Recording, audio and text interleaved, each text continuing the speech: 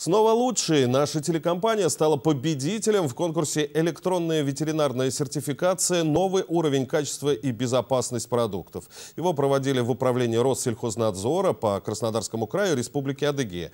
Отличилась программа «Город. Действующие лица», в которой ведущий Алексей Шулепов расспрашивал начальника отдела управления Мурада Мурадяна об электронной сертификации.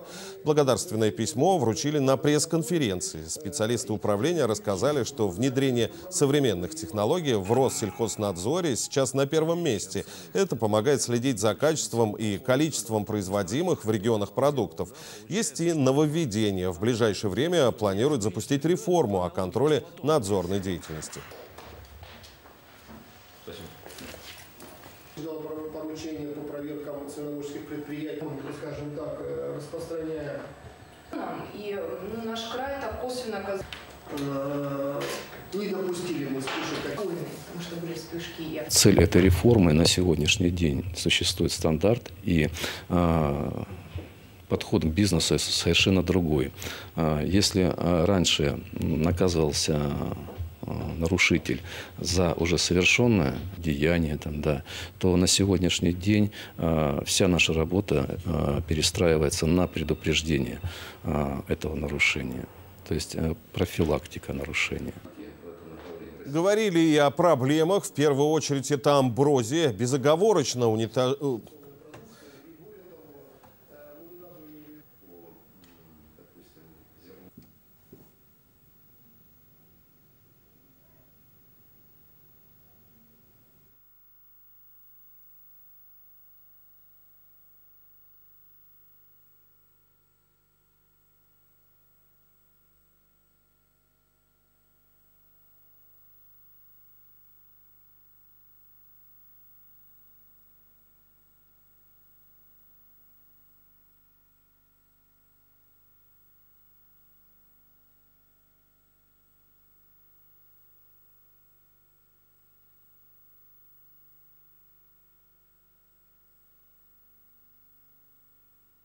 Цель этой реформы на сегодняшний день существует стандарт и а, подход к бизнесу совершенно другой.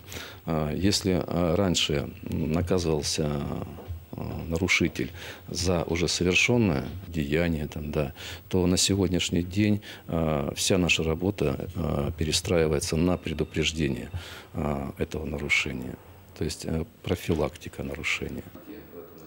Говорили и о проблемах. В первую очередь это амброзия. Безоговорочно уничтожать сорняк-аллерген сотрудники Россельхознадзора призывают владельцев земельных участков.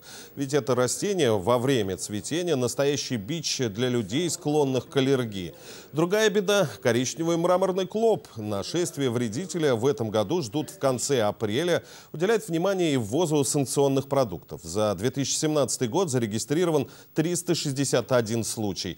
В общем весе более 36 тонн. В основном это овощи и фрукты. После изъятия их уничтожают. Ну а мы благодарны нашим давним партнерам, ветеринарам за совместную работу. И, конечно, продолжим сотрудничество, чтобы лучше других освещать их деятельность.